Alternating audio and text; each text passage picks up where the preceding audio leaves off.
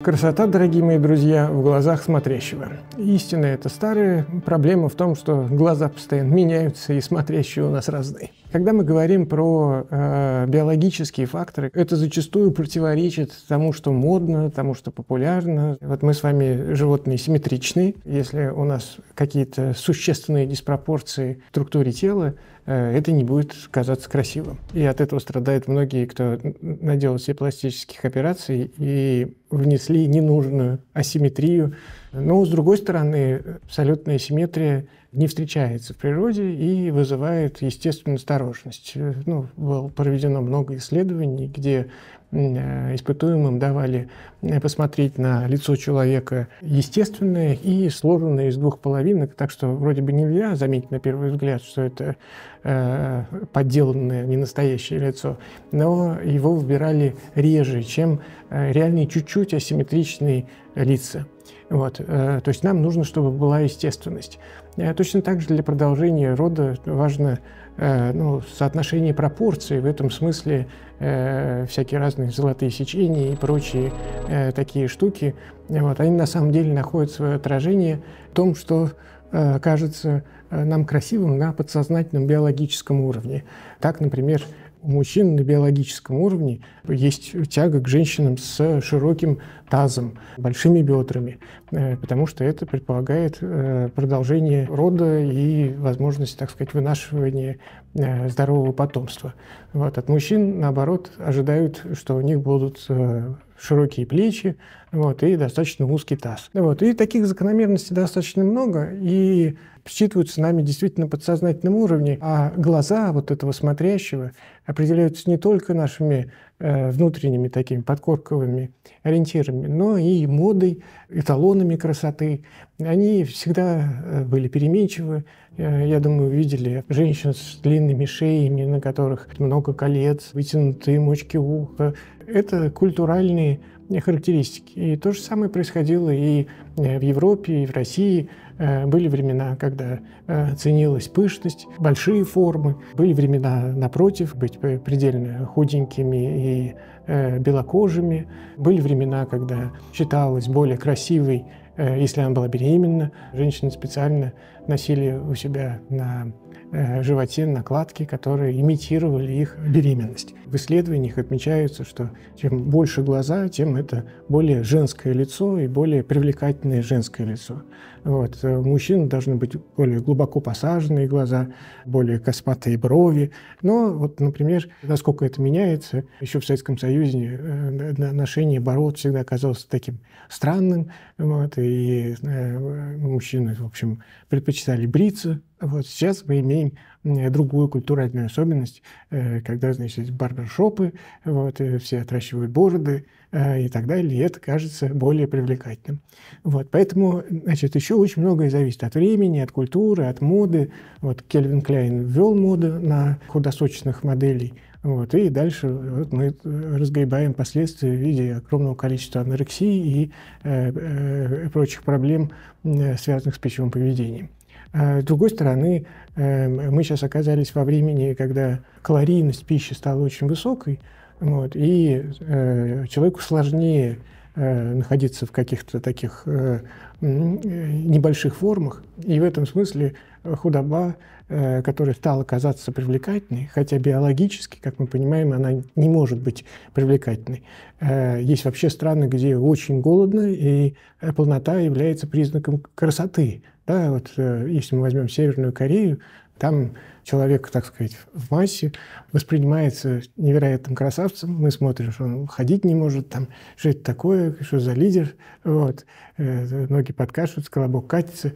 Вот. А на самом деле э, для представителей культуры, в которых не так много полных, вот, просто потому что время от времени случается голод и есть ограничения, это воспринимается как признак достатка, красоты, уверенности там, и так далее. Плюс у моды надо тоже понимать, э, есть особая характеристика, связанная со статусом. Понятно, это уже опять же к биологии вот связанная, да, потому что если у э, особи выше статус, то вероятность того, что ее потомство сохранится, оно э, увеличивается. Поэтому у мужчин традиционно значит, привлекательность связана с их социальным статусом, с их возможностями, с их финансовым состоянием там, и так далее.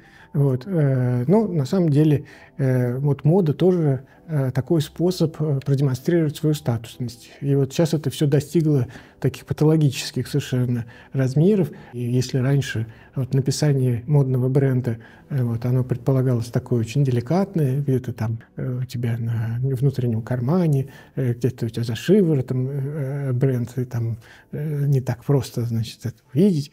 Вот, ты должен был по, как бы сказать, по внешнему виду догадаться, что это какая-то дорогая одежда или сумка, там, или обувь, там, и так далее. Вот, то сейчас, когда все печатается на одних и тех же фабриках, вот, просто стоит по-разному, то статус государственность, она выродилась, то, что значит, пишут э, всякие э, Баленсиаги, Дольче Габаны, вот они сверх до головы, все увешано в этих э, дорогих э, в кавычках продуктах, вот, чтобы продемонстрировать статусность свою. И вот человек идет, он там исписан словами. Такой способ продемонстрировать красоту. Ну, еще вот я бы про культуру сказал, про красоту. Э, важно есть красота э, художественная, понимаете? Вот несмотря на всякие разные эволюционные изменения, у нас есть такая тоже настроенность, и у этого тоже есть, кстати, биологическая э, штука. Понимаете, вот эм, когда вы видите картину, которая огромная, которая детализированная, в которой или вы заходите куда-нибудь в храм какой-нибудь, э, Сиакский собор, заходите, там все такое вот э, богатое, все такое и так далее. Вот, э, и нам кажется это красиво. Почему? Ну, потому что очень много калорий было потрачено на производство этого продукта. И у нас, э, значит, вот в свое время еще было такое, э, это ручная работа, а это, значит, вот фабричная. Фабричная, у нее мало потрачено было калорий, потому что там завод, технологии там, и так далее. А вот это ручная работа, много было потрачено человеком времени, чтобы у него было это время, ему нужно его кормить, вот, значит, соответственно, больше калорий. Вот, и э, все, что, э, как бы, на, на что было потрачено большое количество э, калорий, поэтому и платья могут быть там все расшиты, всякие эти э, валаны, там, э, эти, эти э, парча, там все на, на, на золотом, наши, если красиво, сразу кажется, почему калорий много потратили. Вот. Э, ну и в целом, в общем, искусство это э, в значительной степени, эта же демонстрация была всегда Э, э, значит, вот способности купить много калорий, вот, зафиксированных 20 лет Леонардо рисует Джаконту. Вот. То есть нарисовал за, за день, так, ну, что это такое? Много калорий потратил. Стальную вечерю, понимаете, 12 лет рисовал, все, Саша не ел. Да, сейчас определяется ну, другими вещами, сейчас тоже брендами определяется в значительной степени. Э, потому что современное искусство, оно пошло не по пути, оно уже как бы максимум калорий, какие могло э, реализовать, реализовало. Дальше нужны были неожиданные ходы, неожиданный ход ты делаешь, ты вы, вы, выпрыгиваешь впереди на авиансцену. Вот.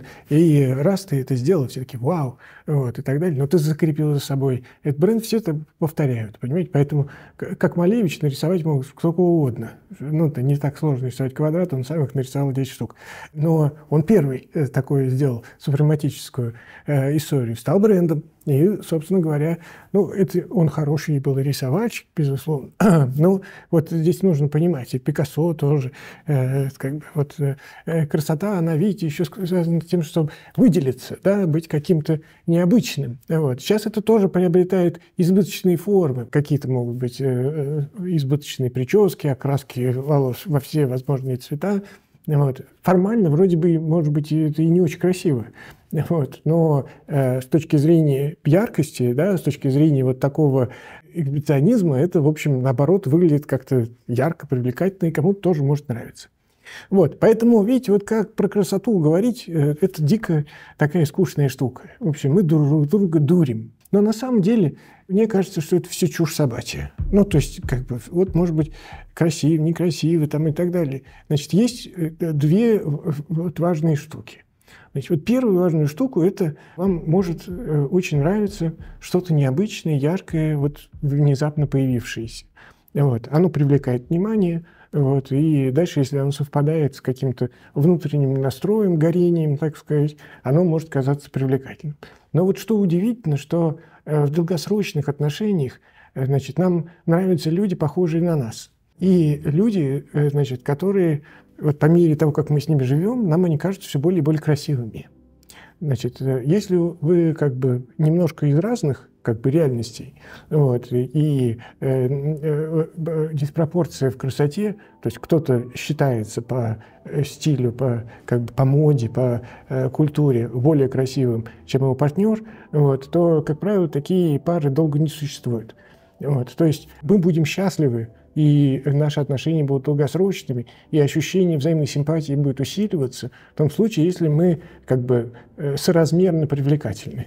Э, ну, понятно, что это какие-то формальные штуки, но вот э, я вам говорю просто про данные фактических исследований. Вот, смотрят пары, значит, их формально оценивают большое количество респондентов, уровень, так сказать, красоты в баллах, вот, и потом выясняется, что Э, как бы сказать, когда есть максимальное совпадение э, по такой оценке, то продолжительность и качество отношений внутри этой пары лучше. То, что мы привыкли смотреть, тоже становится красивее, потому что это просто динамический стереотип.